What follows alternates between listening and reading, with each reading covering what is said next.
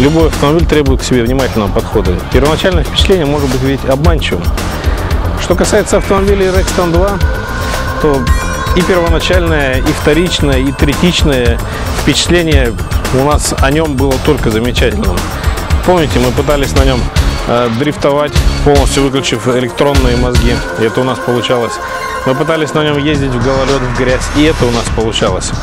Но сегодня и сейчас Автоград в очередной раз стимулирует свое внимание к этим автомобилям. Ну а мы еще раз заглянем вовнутрь.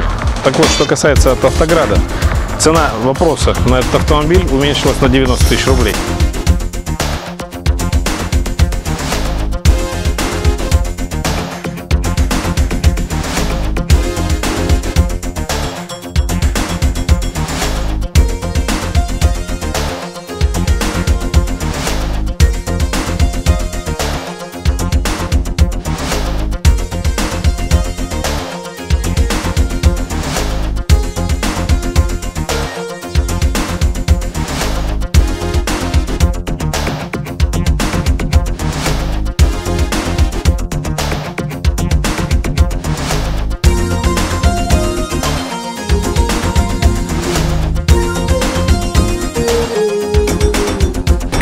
Говорят, машину надо почувствовать.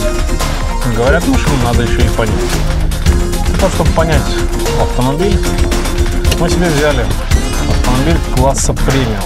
Да даже выше класса премиум. Вот я из него слышал сейчас, а я сел в другой автомобиль. Я этот автомобиль начинаю чувствовать. Я начинаю чувствовать Мерседес. Я открываю глаза, вижу, ну почти Мерседес. Но по качеству выполнения это, это точно Мерседес. И это элитный корейский внедорожник. Элитная корейская марка. Потому как, а дело было в начале 90-х годов прошлого века, корейский автопром, ну, одно из подразделений, сделало правильный выбор. Велосипед не стали придумывать, обратились к фирме Mercedes-Benz. Тогда она еще не схлестнулась с Крайслером. И целиком взяли э, всю линию, весь конвейер взяли и сделали автомобиль SsangYong.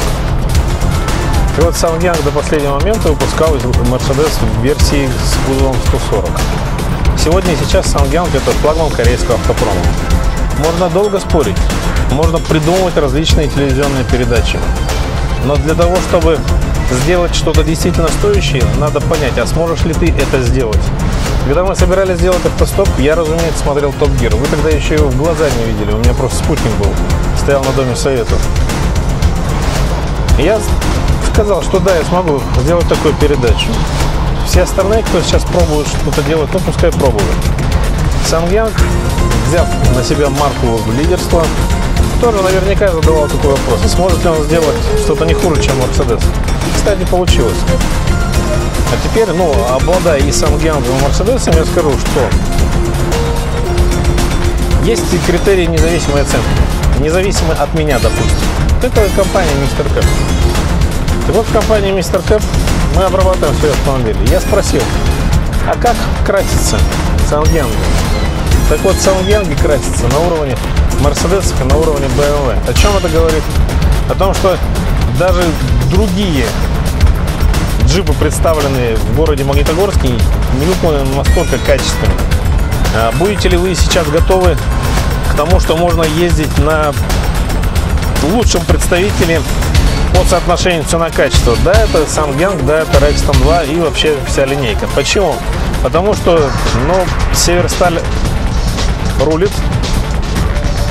И, конечно, позволила себе сейчас и благодаря мудрому руководству сделать автомобильное направление и собирать в набережных Челнах вот эти автомобили. Поэтому цена вопрос такая. Вы думаете, если бы вы целиком везли новый автомобиль и растамаживали бы, сколько бы его он стоил? Он бы стоил, ну, не меньше миллион восемьсот, миллион девятьсот. Извините, это все-таки элитный внедорожник. Но собирается в России, поэтому цена 1 миллион 290 тысяч рублей. А сегодня 1 миллион 200, 200 тысяч рублей, потому как Автоград, Автоград позволяет себе но благодаря большим объемам продаж немножко снизить свой интерес. и повысить ваш интерес к автомобилям марки Сангьян. Что не надо делать на Рекстонах? Ну, к сожалению, не надо пытаться из элитного внедорожника сделать внедорожник в полном смысле этого слова.